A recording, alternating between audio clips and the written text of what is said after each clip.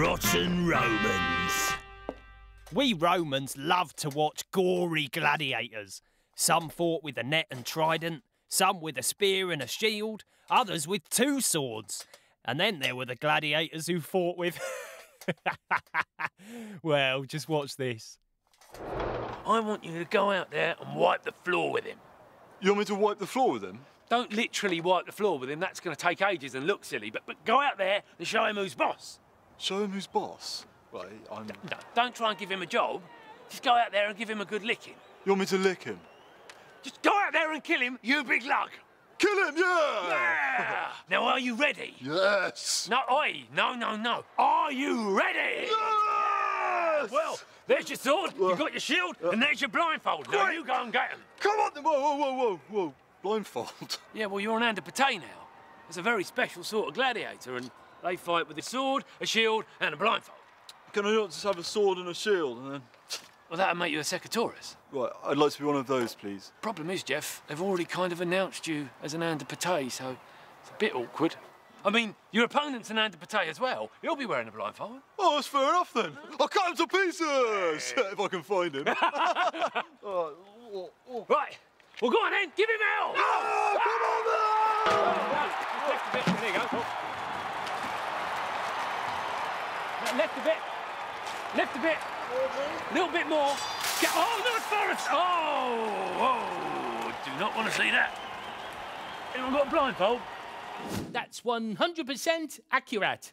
Andabatae were blindfolded and pushed towards each other by people with sticks. That's right.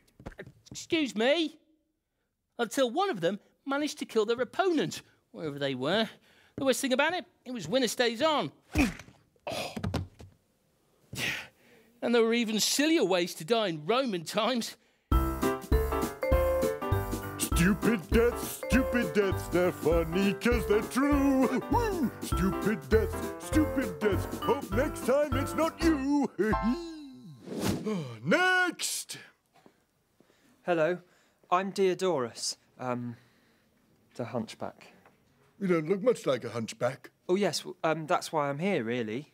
Ooh, interesting. I'm all ears. Entertain me. Well, I'd been a hunchback for years, so I'd given up all hope of any cure. But then I met Dr. Socles, and he's a Greek medical expert, and he said that he could fix my crooked spine. Ooh, this sounds like it's gonna be good.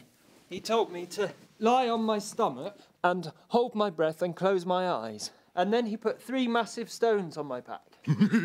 And? And when I opened my eyes, I was cured. Oh dear. But unfortunately, I was also dead. Hooray! Squished by Dr. Sockley's stones, they crushed my spine. That's hilarious. Ooh, have you met my flatmate, Diodorus?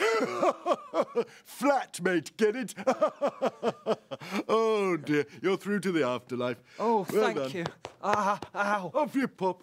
Do you know, oh, I love my job sometimes. I do, I really do. Next! Stupid deaths, stupid deaths. Hope next time it's not you.